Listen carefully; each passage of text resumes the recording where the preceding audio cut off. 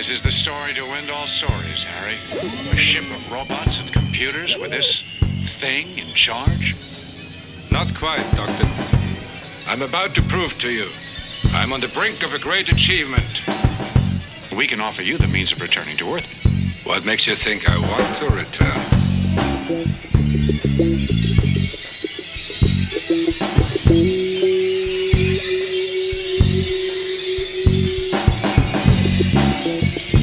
This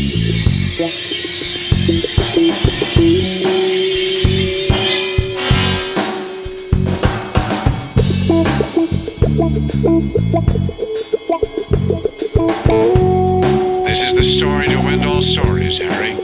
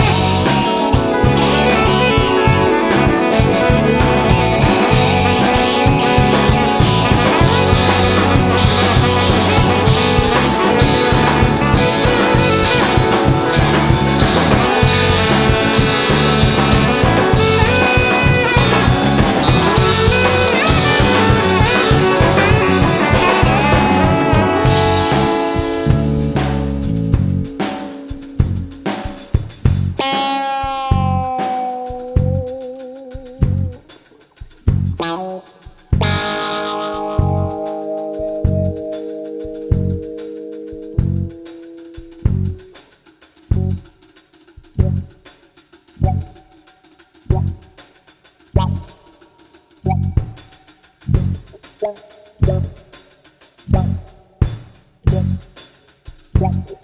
you.